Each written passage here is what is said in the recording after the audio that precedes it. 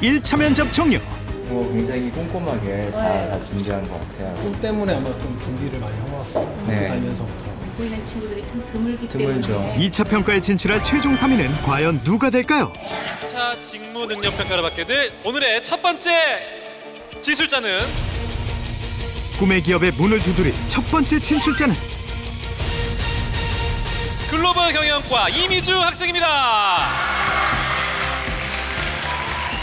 이미주 학생 같은 경우는 자신의 생각을 합리적이고 또 논리적으로 남들한테 전달하는 그런 그 능력이 뛰어나서 이미주 학생을 선발하게 되었습니다.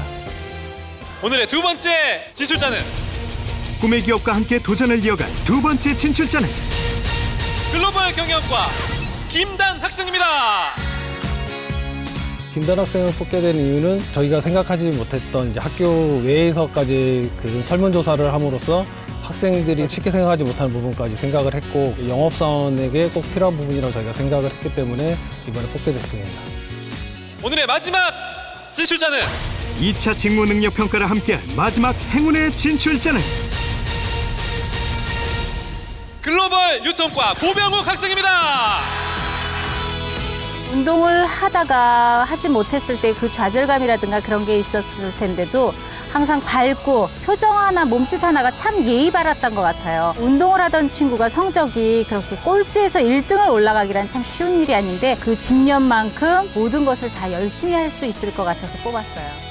미래의 빛나는 영업사원이 될 3인방의 2차 직무 능력 평가가 계속됩니다.